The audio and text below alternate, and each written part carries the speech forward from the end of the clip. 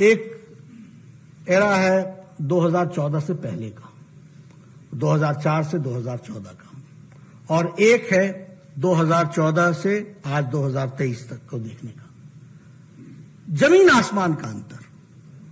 भारत की मानसिकता में यह बैठ चुका था कि देश ऐसे ही चलेगा। कुछ बदलने वाला नहीं है। भ्रष्टाचार सब जगह होगा। हम ऐसे ही चलेंगे, हम कोई सुधरने वाले नहीं हैं।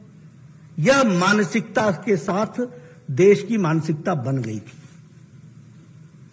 हमारे, हमारी गिनती करप्ट स्टेट्स में गिनी जाती थी। देश को करप्ट नेशंस में गिना जाता था।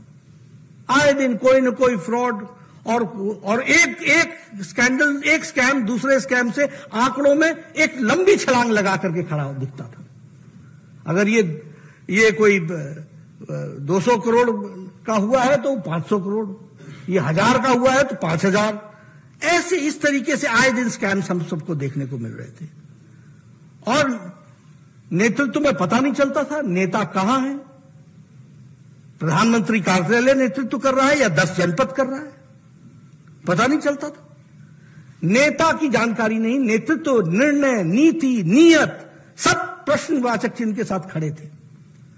आपने हिम्मत करके 2014 में आदरणीय मोदी जी को आशीर्वाद दिया, भारतीय जनता पार्टी को आशीर्वाद दिया, भारत, एनडीए की सरकार बनी और 2014 में नेतृत्व भी मिला, नीति भी मिली, नीयत भी साफ़ थी और काम करने के साथ साथ आगे बढ़ने का लक्ष्य था, जिसको हम लोगों ने पूरा किया यह हमको ध्यान रखना चाहिए। इसलिए पॉलिसी पैरालिसिस से decision making government bold decisions लेने वाली गवर्नमेंट यह हम सबको देखने को मिला है।